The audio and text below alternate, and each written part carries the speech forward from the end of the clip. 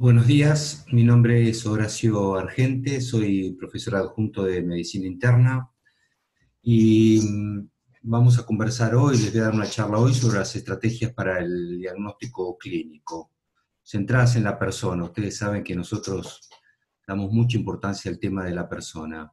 Eh, antes de empezar, bueno, espero que estén pasando de la mejor manera posible la difícil situación que estamos atravesando todos, eh, alumnos, docentes, personas, pacientes, todos.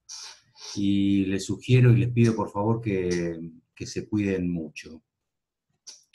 Este tema em, de la charla de hoy es eh, importante, el, diagnóstico clínico, porque, bueno, los médicos la mayor parte del tiempo de nuestro trabajo estamos haciendo diagnóstico. Es cierto que hay distintas especialidades y el contacto con los pacientes es variable de acuerdo a la especialidad, pero lo cierto es que si bien los médicos hacen otro tipo de tareas, la mayor parte del tiempo y la mayor parte de su actividad se relaciona con el diagnóstico clínico. Por eso es importante que ustedes conozcan cuáles son las estrategias que utilizamos los médicos y vean que son distintas y que ustedes ya tienen algunas ideas de cómo se hace el diagnóstico. Em, ustedes están aprendiendo o intentando aprender una asignatura que es la semiología, y definitivamente la semiología tiene muchísimo que ver con el, con el diagnóstico clínico. Ya a esta altura del partido saben bien que es justamente la ciencia que estudia los signos y los síntomas de las personas, y que tiene dos grandes partes. Una es la semiotecnia, la que a ustedes en este momento les estar resultando más difícil aprender por la distancia que impone la pandemia y no poder tener contacto con las personas, pero es básicamente la técnica de la búsqueda del signo, y esto implica la inspección, la palpación, la percusión, la ocultación, todo lo que ustedes ya conocen.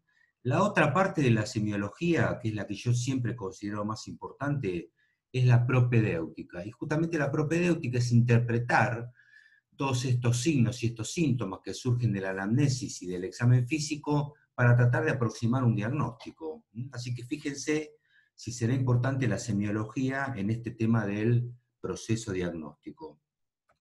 Muchos dicen, de hecho, que la semiología es la ciencia y el arte del diagnóstico. Esto está muy lindo, pero el tema es que hay que aprenderlo y no es una tarea fácil. ¿Y dónde empiezan los caminos del diagnóstico? ¿Dónde empiezan a, forjarse o a recorrerse los caminos del diagnóstico? Bueno, son justamente a través del aprendizaje de esta asignatura que ustedes están haciendo ahora, que es la, semiología. Muchos de ustedes hasta ahora han tenido muy poco o nulo contacto con, con pacientes reales, y es ahora, es ahora específicamente donde empiezan a recorrer este difícil camino. Nosotros hablamos siempre de que la semiología implica una especie de laberinto.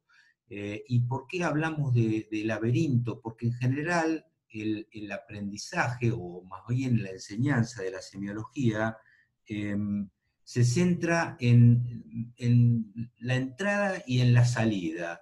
La entrada son los signos y los síntomas, por eso yo les decía que la semiología es la ciencia tiene esa parte de la, que es la, semiotecnia, que es la búsqueda del signo y del síntoma. Y la otra cosa que se enseña son las enfermedades. A ustedes les dicen, les enseñan dolor precordial y después se les enseña eh, infarto agudo de miocardio y demás.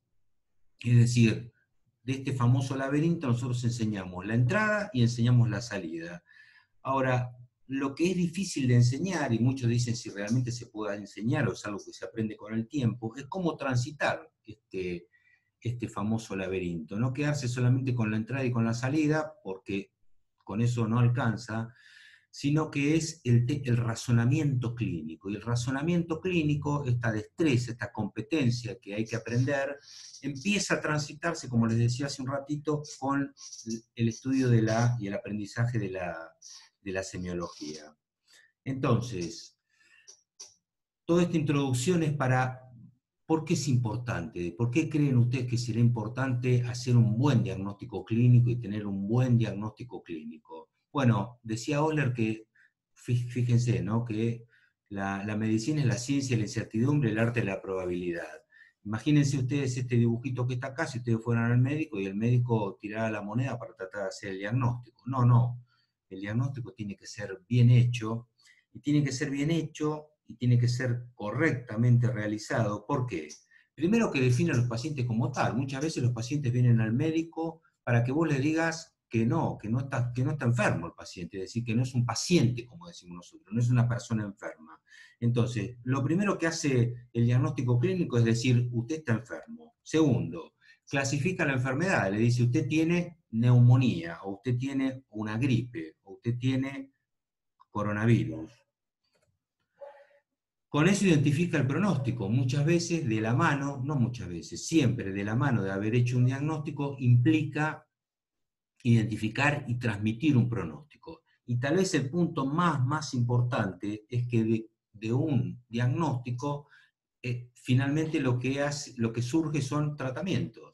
Siempre con la idea o con la creencia de que los tratamientos van a ser buenos para el paciente. Imagínense que si un diagnóstico es incorrecto, seguramente va a inducir a un tratamiento incorrecto y eso va a ser muy malo para el paciente. Fíjese entonces qué importante, qué importante que es hacer un diagnóstico correcto.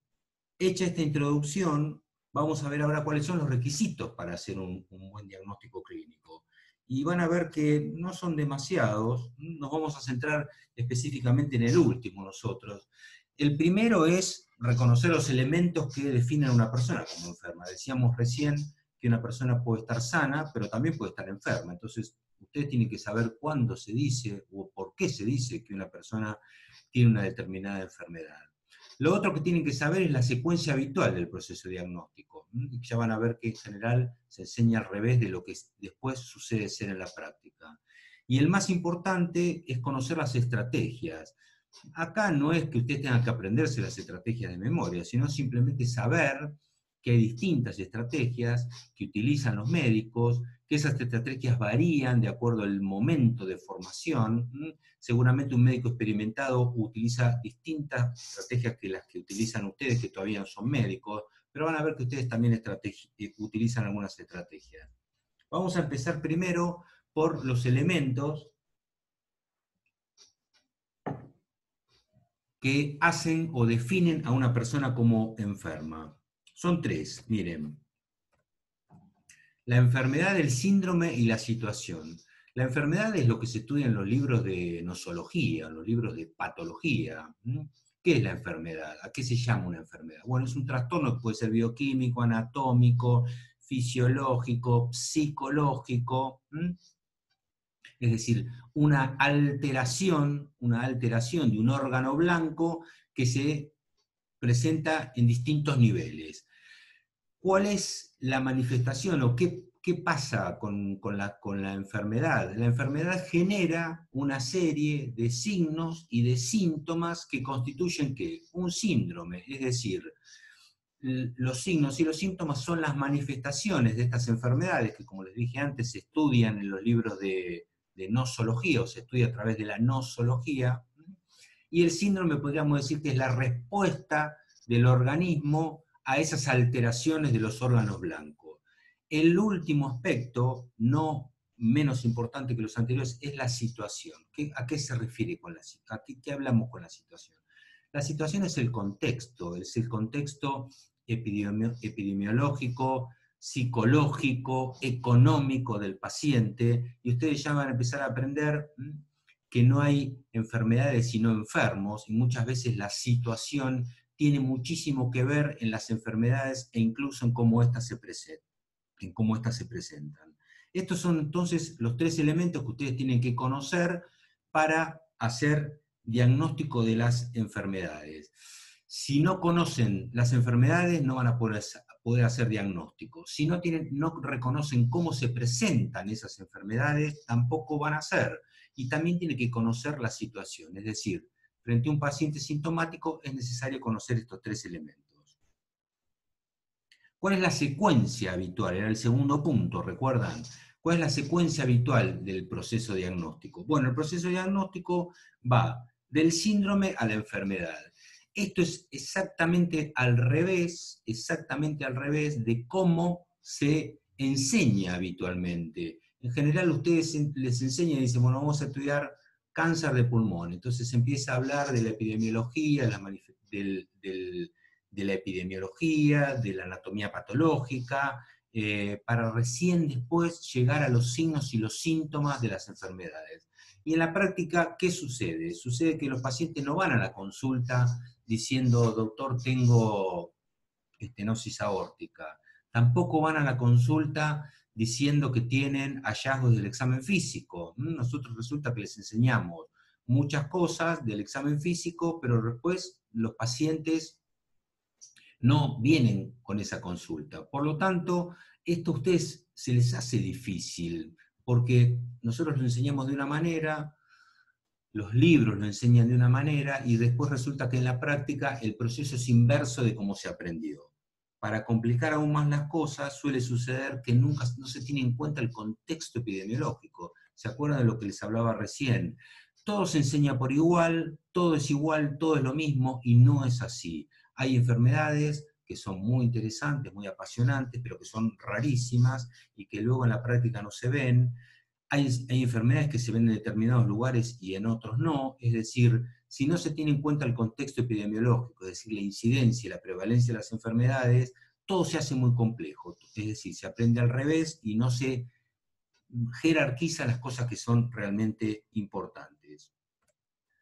Vamos al, tercer punto, ya repasamos, acuérdense, cómo se hace el diagnóstico de enfermedad, cuáles son, cuál es la forma habitual de hacer el diagnóstico, y ahora lo que vamos a hacer es repasar las estrategias.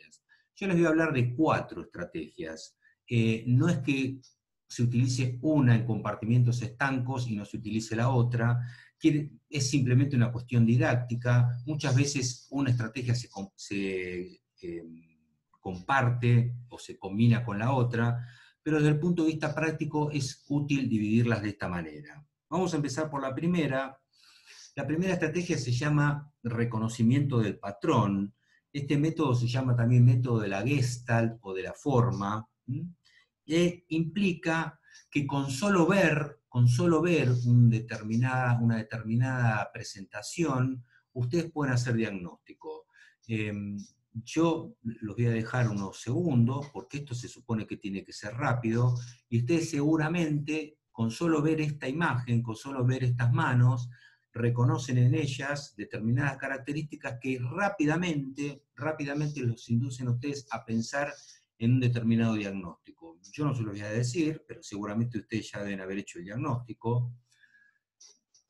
Es muy probable que mirando a esta señorita ustedes puedan hacer eh, diagnóstico de una determinada enfermedad. Miran a este señor, y seguramente verán determinadas características que también los van a inducir rápidamente a un diagnóstico. ¿Qué es, ¿A qué se llama método de, reconocimiento de la Gestalt o método de, reconocimiento de patrón? Es que ante simplemente mirar una determinada imagen, aunque muchas veces no solamente es visual, ahora fíjense que estamos en la época en la que todo va a tener que ser visual, pero muchas veces el reconocimiento de esto es palpatorio, las características de una adenopatía tumoral, las puede ser auditivo, como por ejemplo las características de la voz de un hipotiroideo, las características de un determinado soplo, o puede ser olfativo, ¿eh? ya ahora no queda muy bien olfatear a las personas, pero hay determinados olores que desde luego no se pueden transmitir, que son absolutamente característicos. Un ejemplo típico es el olor de la melena. Ustedes ya deben saber lo que es una melena, si no lo saben, pronto lo van a saber, pero es sangre digerida en la materia fecal y tiene un olor tan característico que rápidamente invoca, invoca un diagnóstico. Entonces, el método de reconocimiento del patrón es reflejo, no es reflexivo, no hay que pensar, con solo mirar una determinada imagen uno rápidamente hace el diagnóstico. Este, este aprendizaje no se puede, no se aprende en, las aulas, se aprende con la experiencia. Lo utilizan los médicos más experimentados. ¿Y cuándo tiene valor el método de reconocimiento del patrón? Bueno, cuando un determinado hallazgo es muy, muy característico y se ve solo en determinadas enfermedades. A eso nosotros le llamamos patognomónico, ya les deben haber hablado de este término. Eh, la realidad es que el método de reconocimiento del patrón muchas veces es solamente el inicio, solamente el inicio del proceso diagnóstico y no el fin del proceso diagnóstico. De todas maneras, ustedes tienen que saber, porque es un método que eh, utilizamos mucho los, los médicos. Entonces, el diagnóstico, dice acá, se realiza con solo mirar al paciente, comprensión inmediata de que una forma de presentación se corresponde con el patrón de la enfermedad eh, que ustedes ya conocen. Les dije entonces que es reflejo y no reflexivo, generalmente visual, pero puede ser auditivo, puede ser palpatorio y olfativo, y se aprende con los pacientes y no en el aula. No les podemos mostrar todos los tipos. Y desde luego, si se aprende con los pacientes y no, y no en el aula, su aprendizaje, eh, y, sí, su aprendizaje aumenta con la, con la experiencia. Muy bien. Este es el primer método, algunos lo llaman el método del bombero, yo le llamo el método del bombero, y intento transmitirles que si ustedes ven a una persona que tiene eh, un piloto, tiene un casco puesto, tiene botas y tiene una manguera en la mano, inicialmente piensen que es un, eh, un bombero y no otra cosa. ¿eh? Van a ver después en la práctica que la gente dice, no, es un disfrazado o alguna otra cuestión. Muy bien, este es el método de reconocimiento del eh, patrón, el primer método del que les hablé. Vamos al segundo método. El segundo método se llama, o es conocido como el método del algoritmo. El método del algoritmo ustedes lo deben conocer muy bien, eh, porque han visto algoritmos. ¿El algoritmo qué es? Es un camino de vías múltiples que reproduce, podríamos decir, el accionar de un médico experto. El algoritmo te va presentando distintas alternativas, por sí, por no, y te lleva hasta un, hasta un camino final. El método del algoritmo es fantástico, porque imagínense si toda la medicina pudiera resolverse a través de algoritmos, qué fácil que sería eh, hacer medicina, ¿no es cierto? Entonces, el proceso diagnóstico atraviesa vías potenciales que ya están preestablecidas y cada pregunta te lleva a una respuesta y finalmente al diagnóstico correcto. Esto está fantástico, pero no siempre funciona tan así. Hay algoritmos que sean aplicables para signos, otros son aplicables para síntomas. La realidad es que los algoritmos son buenos por algunas cosas, pero tienen sus fallas y tienen sus limitaciones. Yo les voy a mostrar algunos ejemplos. Miren, acá tienen un algoritmo para la hipocalcemia. Acá tienen un algoritmo para un hematocrito elevado, esto se llama poliglobulia o policitemia. Acá tienen un algoritmo para el dolor precordial, este es un poquito más complejo, ¿no es cierto?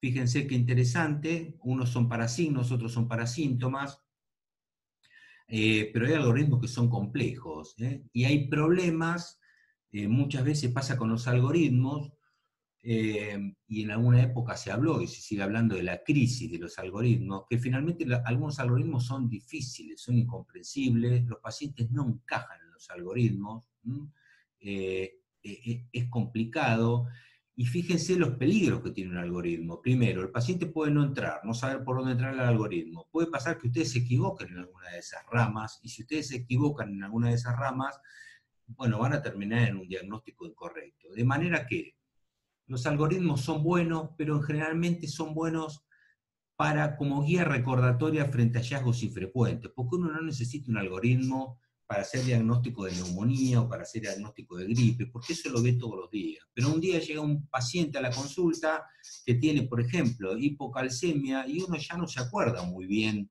cómo era el tema de la hipocalcemia. Entonces, es bueno, es bueno como guía recordatoria para estos casos que uno no ve todos los días. Y en realidad los algoritmos, la principal utilidad no es para hacer diagnóstico, sino que es para tomar conducta. La mayor parte de los algoritmos terminan en interne al paciente o solicite tal estudio. Es decir, son más bien una guía, una ayuda, un apoyo, pero no necesariamente el diagnóstico final. Entonces, la crisis del algoritmo, algoritmo incomprensible, los pacientes no encajan, y el tema de que si te equivocaste en una de las ramas, seguramente vas a terminar en un diagnóstico incorrecto. Aplicable a signos y síntomas, secuencia lógica de un diagnóstico idealizado.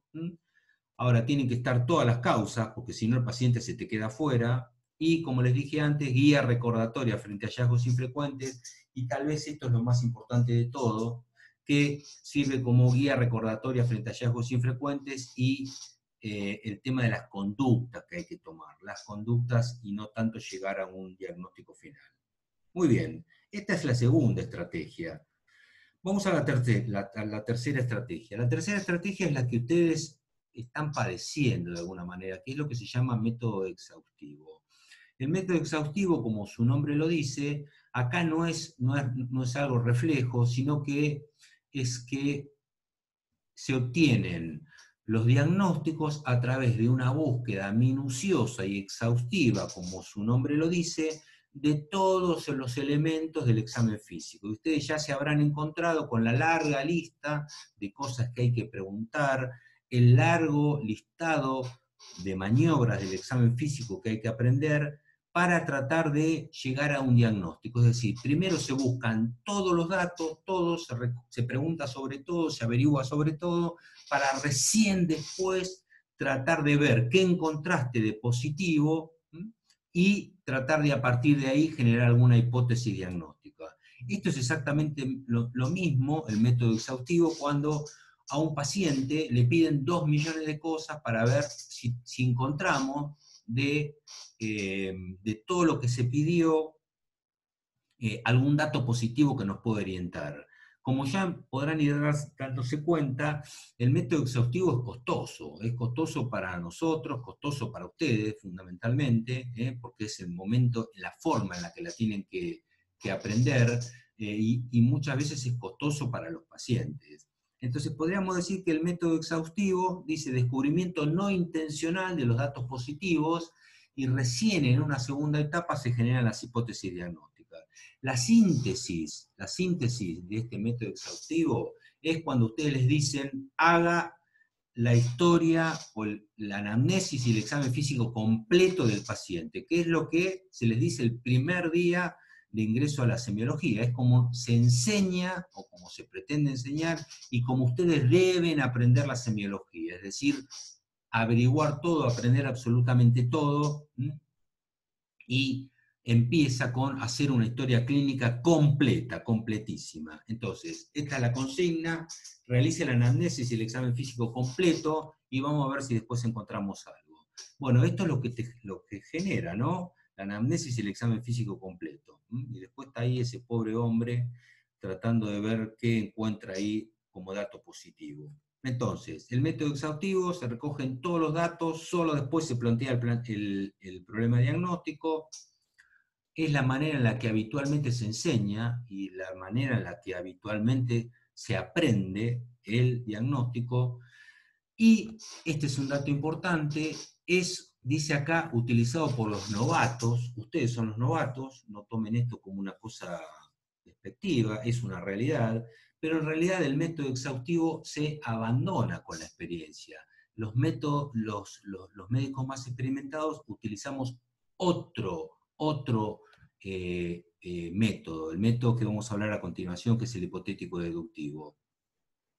Es decir, imagínense que si nosotros cada paciente que viene a la consulta hacemos un examen físico y una anamnesis completa, bueno, nos llevaría un par de horas atender a cada paciente. Por lo tanto, no, no lo hacemos. Hay un famoso epidemiólogo que dice que todos los, que se llama Sackett, que dice que todos los estudiantes de medicina debieran aprender en profundidad a cómo hacer una anamnesis y un examen físico completo y después no hacerlos nunca más. Yo quisiera que este mensaje a ustedes no les vaya a hacer creer, decir, entonces nos lo salteamos. No, no, no, no. Es fundamental. ¿Y por qué es importante que ustedes aprendan de esta manera la semiología? Porque lo que dice acá, cada una de las maniobras, cada uno de los datos del examen físico, cada una de las maniobras del, del examen físico eh, tienen que ser aprendidas. Ustedes no pueden saltearse diciendo, bueno, yo a percutir no voy a aprender, o los reflejos no, no me los voy a aprender, porque todo tienen que saberlo. ¿Por qué? Porque cada una, cada una de estas subrutinas que ahora parecen un todo enorme, después aplicadas en el momento correcto, van a ser las que ustedes les van a permitir generar las hipótesis diagnósticas correctas. De manera que es importantísimo, aunque sea exhaustivo y aunque sea doloroso y aunque sea costoso, que la semiología sea aprendida de, esta manera. Quisiera dejar este mensaje para que ninguno de ustedes vaya a creer que porque es un método que se abandona, hay que salteárselo. Vamos ahora al último, a la última estrategia, que como les dije antes, es el método hipotético deductivo. Este es el método que utilizan los médicos ya más experimentados. Como su nombre lo dice, ¿qué quiere decir método hipotético deductivo? Quiere decir que con solo sentarse frente a la persona, muchas veces solamente mirarla, solamente escuchar sus primeros comentarios, rápidamente el médico genera hipótesis diagnósticas en su cabeza, utilizando algunos mecanismos de los que les voy a hablar a continuación, y establece un listado de diagnósticos probables. Escribe en un pizarrón imaginario una lista de dos o tres diagnósticos, sigue generando hipótesis, sigue preguntando, muchas veces con solo preguntar uno ya tiene un diagnóstico bastante claro, muchas veces requiere hacer el examen físico, es decir, de acuerdo al, a las hipótesis diagnósticas, ¿hace un examen físico exhaustivo? No, hace un examen físico dirigido a sus hipótesis diagnósticas. Muchas veces no alcanza ni con anamnesis ni con el examen físico y el médico tiene que em, em, solicitar estudios complementarios. Otra vez, ¿qué hace? ¿Pide un montón de cosas? No, pide cosas específicamente o estudios complementarios específicamente dirigidos a sus hipótesis diagnósticas. El método hipotético deductivo es el método que utilizan los médicos más experimentados, es decir, que la, experiencia les permite, a través de este primer contacto con el paciente, datos muy concretos que surgen de un examen físico dirigido y de estudios complementarios dirigidos, generar hipótesis diagnósticas y tratar de ir descartándolas o confirmándolas para llegar al diagnóstico final. Entonces, yo les voy a poner un ejemplo para que todos ustedes vean que ustedes también pueden utilizar el método hipotético deductivo. Supónganse que ustedes están en una guardia y llega Mauro, de 23 años, que no tiene antecedentes, un muchacho sano, y tiene un dolor torácico y disnea de comienzo súbito, de una hora de evolución. Seguramente un médico experimentado ya hizo el diagnóstico, muy probablemente ustedes también, y con solo estas cosas que yo le digo, ustedes debieran ser capaces de establecer el diagnóstico. Tal vez no el diagnóstico, pero yo creo que la cosa quedaría limitada a dos o tres diagnósticos. ¿Qué es lo que pasa? Los médicos experimentados generan pocas hipótesis diagnósticas en cambio, los estudiantes, la gente inicial, también utilizan el método hipotético deductivo. Yo estoy seguro que ustedes ya deben haber hecho el diagnóstico de lo que tiene este, este, muchacho Mauro. Pero en general el listado de hipótesis diagnósticas es mucho mayor. Entonces la diferencia no es este, cualitativa, sino que es cuantitativa. Es la experiencia, la experiencia la que te limita, la que hace que tu listado de hipótesis diagnósticas sea más corta. Entonces, ¿qué es el método hipotético deductivo? La formulación, dice acá, a partir de los primeros datos del paciente, de una lista breve, dice, de diagnósticos presuntivos y conductas adicionales para reducir la lista de diagnósticos o finalmente llevarla al diagnóstico final. Dice acá, lo utilizan los médicos experimentados, pero también los estudiantes. Entonces, como les dije recién, la diferencia es más cuantitativa que eh, cualitativa. Más interesante que esto es que ustedes entiendan cómo, cómo se generan estas hipótesis diagnósticas, por qué, cómo funciona la cabeza del, médico experimentado, cómo funciona la cabeza de ustedes para generar estas hipótesis diagnósticas. Y esto ha sido muy estudiado por la psicología cognitiva, y la psicología cognitiva lo que dice es que Em, las hipótesis diagnósticas se generan en la cabeza de, las personas a través de unos procesos que se llaman procesos heurísticos.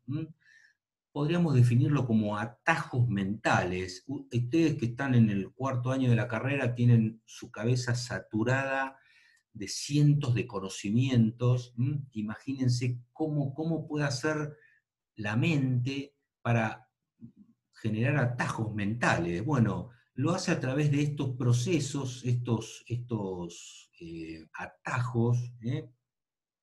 que se llaman procesos heurísticos. Ahora les voy a decir lo que es la heurística. Lo importante es que ustedes sepan que hay un montón de procesos heurísticos eh, y esta manera de generar hipótesis, pero yo les voy a mostrar algunos para ver que ustedes también los utilizan. Y los médicos los utilizamos todo el tiempo. Entonces, em, la heurística es, dice acá, técnica de indagación y descubrimiento. En realidad la heurística es la idea de generar hipótesis, generar hipótesis para tratar de ver qué está pasando, aunque esas hipótesis sean incorrectas. ¿Para qué te sirve medicina que vos generes hipótesis? Y para arrimar una probabilidad, para estimar probabilidades a partir de tu propia experiencia. Es decir, las, es fundamental que estos procesos heurísticos funcionen para que vos puedas decir, me parece que tiene esto, me parece que tiene el otro, esto lo descarto y esto es muy probable. Ahora, les voy a mostrar ejemplos, ejemplos y ustedes van a ver que ustedes mismos utilizan. Hay un proceso heurístico que se llama representatividad. Y les pongo un ejemplo para que pongan a ver si ustedes tienen, si les funcionan a ustedes los procesos heurísticos. Miren, Jaime tiene 56 años, es hipertenso, es fumador y tiene un dolor retroesternal, opresivo, desencadenado por el esfuerzo, que dura minutos y radia el brazo izquierdo. Estoy absolutamente seguro que ustedes rápidamente hicieron el diagnóstico de qué es lo que pasa. ¿Y cómo cree que hicieron eso? Y lo hicieron a través de un proceso heurístico. ¿Por qué? Porque rápidamente a ustedes un dolor que es retroesternal, opresivo, desencadenado para el esfuerzo, que dura pocos minutos y que se les va para el brazo izquierdo, es la forma que ustedes tienen aprendida de la cardiopatía isquémica. Ustedes deben haber dicho angina de pecho, infarto de miocardio. Bueno, en realidad lo que deberían haber dicho es que el paciente lo que tiene es probablemente una cardiopatía isquémica, no sabemos de qué tipo. Y además, ¿por qué? Porque tiene 56 años y porque tiene factores de riesgo, porque es hipertenso y porque es fumador. En síntesis, esta es la forma aprendida que ustedes tienen del dolor isquémico o de la cardiopatía isquémica. Entonces, rápidamente, cuando se les presenta esto, no tienen que ir al libro a estudiar, utilizan un atajo mental, un, un proceso heurístico que se llama de representatividad. La probabilidad se estima de acuerdo a cuánto se parecen los síntomas o signos de nuestro paciente al recuerdo que tenemos de determinada enfermedad. Ustedes ven esta imagen acá, ¿y a quién ven acá? Bueno, seguramente verán a Chaplin, no está Chaplin ahí. Sin embargo, esta imagen rápidamente a ustedes les representa esa, esa imagen. ¿Quedó claro? ¿Vieron que todos lo utilizaron?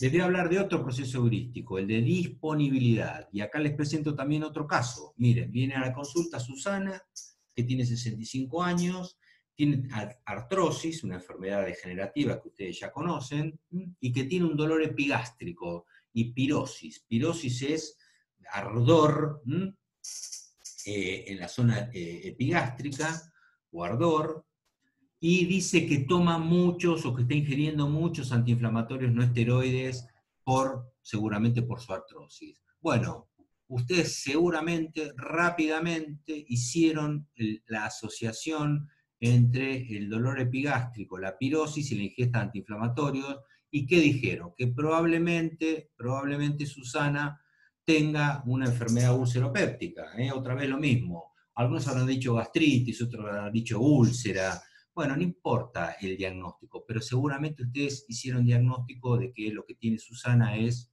este, una enfermedad eh, ulceropéptica. ¿Por qué? Porque utilizaron una asociación, disponibilidad se llama esto, la probabilidad del evento es juzgada por la facilidad con que esto se recuerda.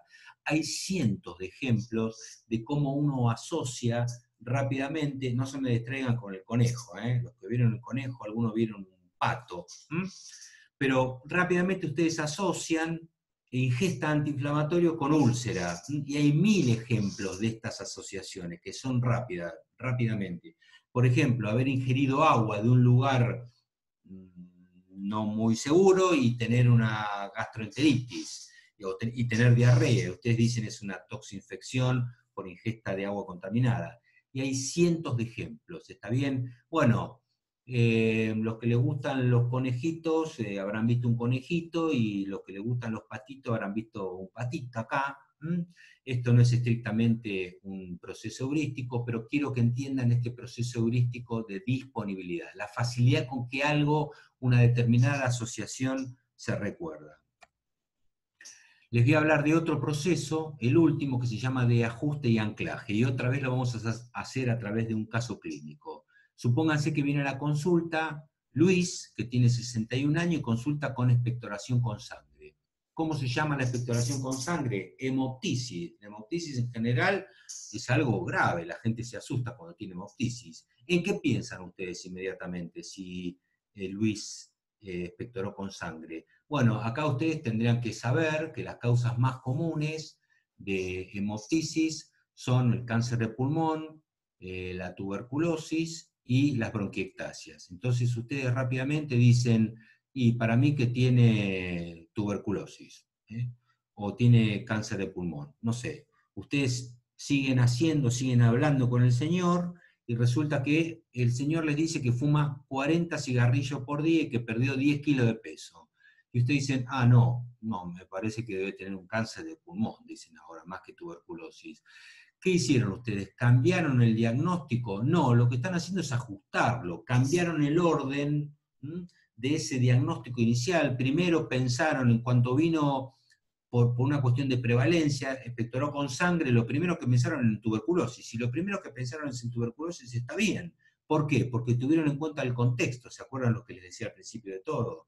Ahora, cuando el paciente les dijo que fumaba 40 cigarrillos por día y que perdió 10 kilos, ustedes dijeron, mm, bueno, capaz que tiene cáncer. Puede tener tuberculosis, perfectamente, no, no, no, no podemos descartar. ¿Qué están haciendo ustedes? Simplemente ajustando la probabilidad y probablemente terminan, terminen de ajustarlo hasta finalmente llegar a un anclaje, lo que se llama al diagnóstico final, a través de estudios complementarios. Entonces, ese método, este proceso heurístico se llama de ajuste y anclaje. Hay una estimación inicial, acuérdense que la heurística básicamente servía para esto, de la probabilidad de, una enfermedad que luego se ajusta de acuerdo a las características especiales que tiene el paciente hasta llegar a la probabilidad final les di ejemplos de tres procesos heurísticos, los invito a que lean porque esto es un tema muy interesante, muy apasionante, al menos lo es para mí, y van a ver que hay muchos más ejemplos de procesos heurísticos. Entonces, em, los procesos heurísticos em, eh, son muy buenos, muy buenos, pero tienen algunos problemas que se los voy a mencionar a continuación. Em, esto es, esta es una especie de síntesis de los cuatro, de los cuatro procesos. Eh, hoy en día, eh, también la psicología cognitiva habla de que eh, la mente nuestra funciona no en medicina, sino en casi todo a través de dos sistemas, ¿no? y se habla de la teoría del proceso dual. El sistema 1 es el sistema de respuesta rápida, automática y no analítica, y el sistema 2 es el de respuesta racional analítica. Casi todas las cosas que hacemos nosotros las hacemos a través del sistema 1, ¿eh? Eh, y el sistema 2 es más perezoso, le cuesta más trabajar, y relacionado con la medicina, eh, los ejemplos, fíjense, pensamiento rápido, reflejo, no lineal, respuesta rápida, sin esfuerzo, son los reconocimientos de patrones y los procesos heurísticos de lo que hablábamos recién. En cambio, el sistema 2, el, pensamiento es lento, reflexivo, lineal y consciente, y los ejemplos son justamente el método hipotético deductivo, el razonamiento bayesiano y la medicina basada en la evidencia. Fíjense cómo se mezclan las cosas. No es que los nosotros frente a un paciente digamos, no, con este voy a aplicar este método, con este voy a aplicar el otro. No, los métodos en nuestra cabeza funcionan, pero tienen que saber que a veces se aplica uno y a veces se aplica otro. Entonces, como les decía recién, Em, estos procesos heurísticos que uno los utiliza todo el tiempo son buenísimos como para almacenamiento y recordación. Ahora, son la fuente más común de errores y de sesgos, de manera que así como ustedes tienen que saber que existen los procesos heurísticos, tienen saber que existen también los sesgos heurísticos. Y yo les voy a poner algunos ejemplos para que ustedes lo vean. También los sesgos heurísticos se, se, se padecen o uno los tiene, también de, acuerdo con su etapa de, formación. ¿Se acuerdan que hablamos del sesgo de representatividad? Bueno, un, no del, proceso heurístico de representatividad, bueno, un ejemplo de, sesgo de representatividad es el desconocimiento de la probabilidad previa. Entonces, ¿qué puede pasar? Que frente a un, una persona que viene a la consulta, supónganse, este mismo paciente que yo les presenté, pero que en vez de tener un dolor era fumador, hipertenso, supóngase que fuera obeso también, sedentario, y resulta que viene a la consulta con una epigastralgia y toma aspirina.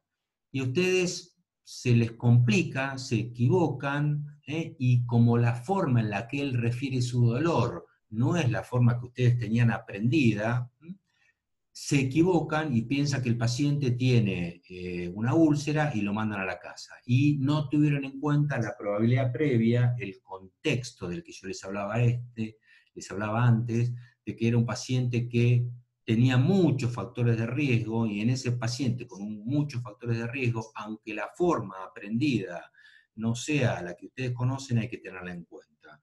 El otro sesgo que suelen cometer también la gente con poca experiencia, es eh, comparar su universo de conocimiento y tratar de aplicarlo a los pacientes que ven. Entonces, dice acá, comparación con experiencias pequeñas y poco representativas.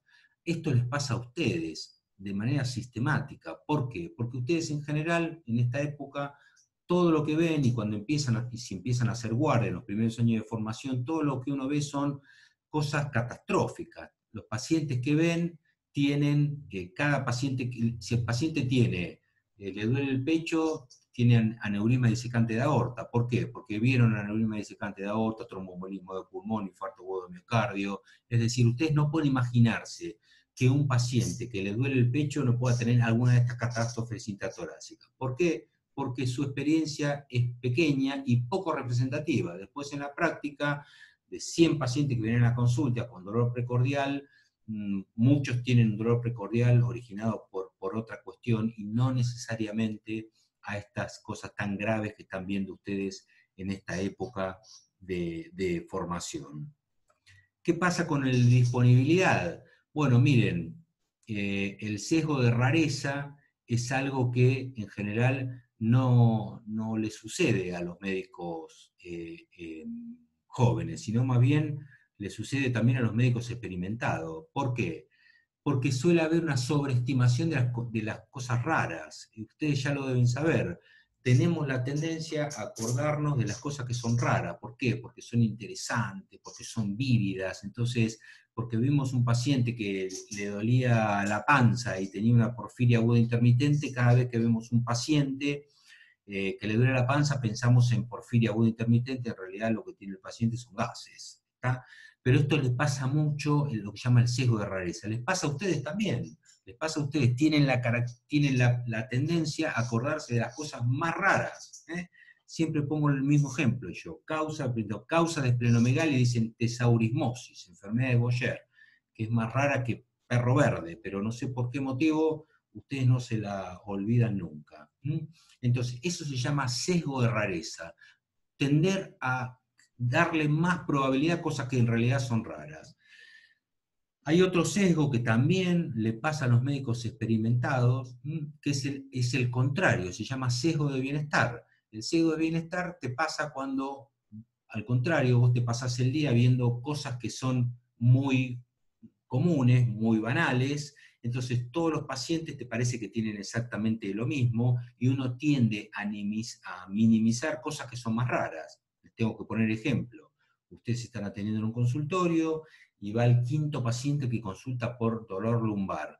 Y casi todas las lumbalgias son lumbalgias inespecíficas, por pequeños desgarros de la musculatura este, paravertebral, y bueno, cuando viene el sexto paciente que dice me duele la espalda, ustedes dicen sí, tiene una lumbalgia específica y lo mandan a la casa. Y probablemente ese paciente eh, tenía otra cosa y ustedes simplemente eh, porque lo que estaban viendo, y esto le pasa más, así como el sesgo de rareza pasa más en los contextos de, pacientes internados, el sesgo de bienestar pasa más en la atención primaria, en los consultorios, en gente que ve la mayor parte del tiempo gente con patología eh, común y no grave. Entonces uno puede nuevamente equivocarse y pensar que este paciente, el sexto paciente, lo que tenía era un aplastamiento vertebral por una metástasis de un cáncer de próstata. ¿Eh? Y uno pensó que era una lumbalgia específica porque así tenía lo, mismo.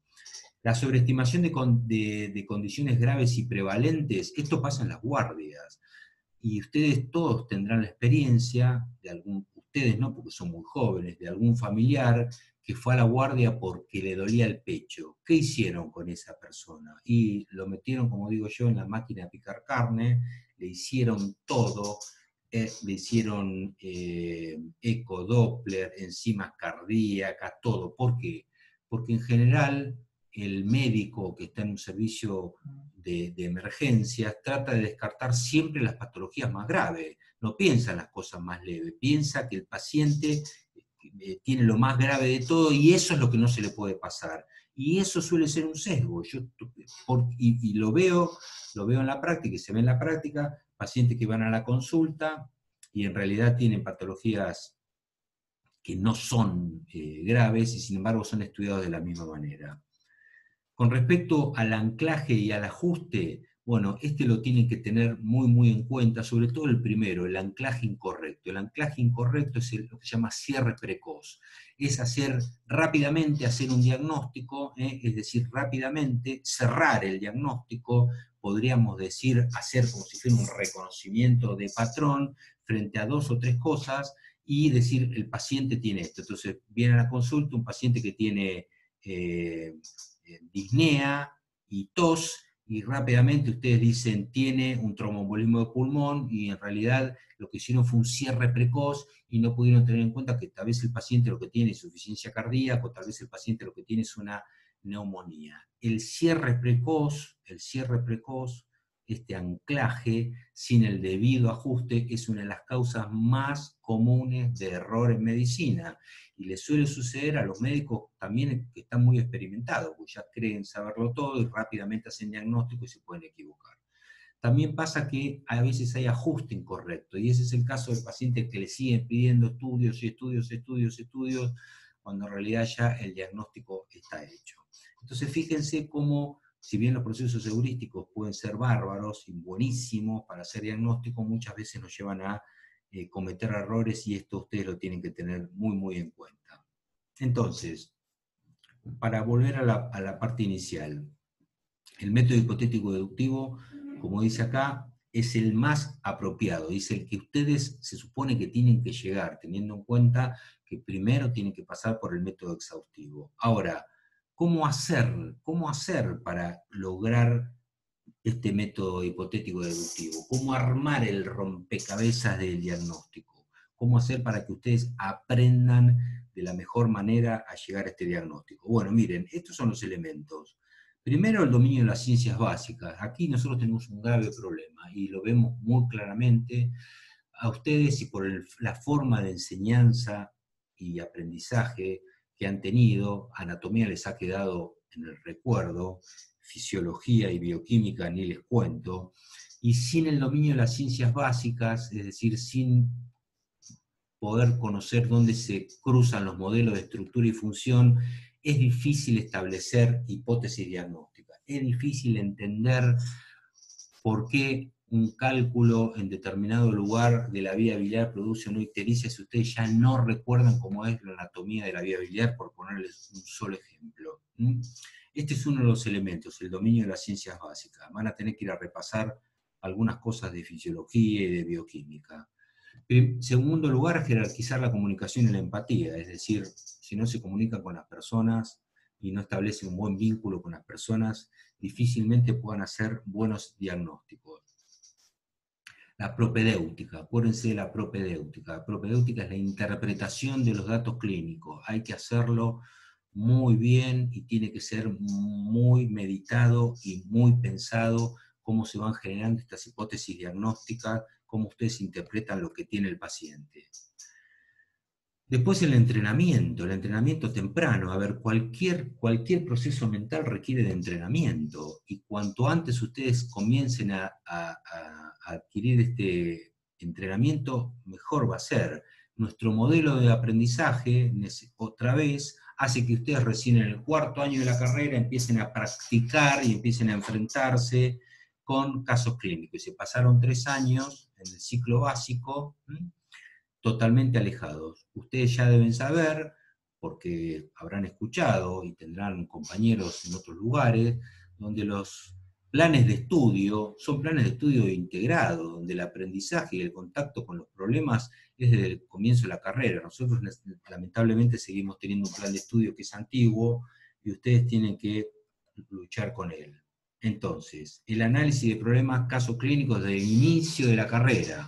Fíjense, ustedes ya se perdieron tres años, no importa, van a aprender ahora. Y después el estudio de la semiología centrada en la persona y en sus problemas. Acuérdense el famoso laberinto. Aquí no es importante que ustedes se aprendan de memoria la clasificación de los soplos.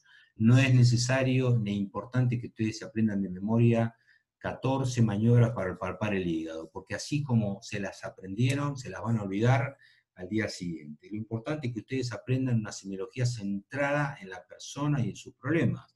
Por eso es que nosotros le damos tanta importancia a los casos clínicos y hablamos de, casos clínicos y pretendemos que el aprendizaje de la semiología no sea del inicio los signos y los síntomas y del final las enfermedades, sino de la propedéutica, de cómo recorrer este camino del aprendizaje. En última instancia, el requisito que ustedes mejoren su competencia. Fundamental que ustedes mejoren su competencia clínica. Van a tener que aceptar, como aceptamos todos, que se van a equivocar y muchas cosas no las van a poder este, aprender, mucho menos en este contexto en el cual hay parte de las competencias y las destrezas que a las distancias son muy difíciles de transmitir. Esto es una realidad que estamos viviendo ahora pero que suma complejidad a, esta, a este de por sí difícil aprendizaje de, la semiología, de manera que no van a poder aprender todo y humildemente van a tener que decir muchas veces no sé, como nos pasa a nosotros, ¿eh? que seguimos diciendo muchas veces no sé. Y para terminar les diría entonces em, que recuerden estos eh, métodos para el aprendizaje de la semiología, eh, que recuerden estos métodos, estas estrategias que utilizamos los, médicos para el diagnóstico, que acuérdense que la semiología es la lógica, no es la semántica, es la lógica de la medicina, es la manera de aprender la semiología, y que el razonamiento clínico está en el centro, y es lo más, diría, lo más importante, y al mismo tiempo, digo yo siempre, lo más fascinante, creo que a ustedes también les guste, todavía deben estar pensando qué tendrían eh, los pacientes que, de los cuales les mostré ejemplos, y me parece que eso es lo más interesante y lo más apasionante de todo. Y para hacerlo bien hay que entrenarse, hay que forzarse y hay que tener compromiso. Compromiso es la palabra mágica, entrenarse mucho, con mucho esfuerzo y mucho compromiso. Acuérdense que nosotros hemos elegido una, una profesión social, ustedes se van a enfrentar con, con personas, y antes de jugar a armar el rompecabezas y hacer diagnósticos, ¿eh? jugar al diagnóstico para nada. Hay una famosa serie de televisión que a todo el mundo le gusta y a mí no me gusta nada, ¿eh? donde parece que lo más importante es hacer el diagnóstico. No, no, no. Ustedes antes de encontrar el diagnóstico, antes de, de generar hipótesis diagnósticas y jugar al diagnóstico, sepan que eh, se están, siempre tienen delante una persona, siempre tienen delante una persona. Entonces, ver primero a la persona es tal vez lo que más les va a asegurar a ustedes el éxito en sus conductas, en sus conductas diagnósticas, en conductas terapéuticas, en última instancia en el, lo que yo pongo acá como el mejor eh, cuidado de, nuestros pacientes. No, no olviden nunca esto. Eh, para avanzar en el arte y la ciencia en el examen del diagnóstico clínico, el principal desafío que tienen que tener ustedes es eh, mejorar ustedes mismos. Este es el mensaje que les dejo finalmente. Bueno, me despido, un poco larga la charla, pero creo que el tema lo ameritaba. Les mando un saludo y que sigan bien.